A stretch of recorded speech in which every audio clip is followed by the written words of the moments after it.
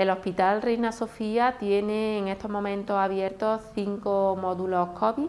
tres en el Hospital General y dos en el Hospital Provincial, además de dos módulos en la unidad de cuidados intensivos y, por supuesto, espacios diferenciados en todos los servicios de urgencias para la atención de pacientes con sospecha o infección COVID y separarlos del resto de pacientes que no tienen sospecha o infección COVID. En estos momentos, pues estamos en la fase inicial del plan de contingencia que hemos desarrollado para esta segunda oleada. Es un plan de contingencia que consta de tres escenarios, tres fases, la fase inicial, intermedia y avanzada. El paso de una a otra va a depender siempre del número de ingresos que tengamos en el hospital, de tal manera que la fase inicial en la que nos encontramos en estos momentos pues no afecta a la actividad programada del centro, salvo que pasemos a una fase intermedia con un mayor número de pacientes en el cual sí se podrá ver afectada la actividad programada del centro, pero para tranquilidad de los ciudadanos nunca se verá afectada la actividad urgente, preferente, oncológica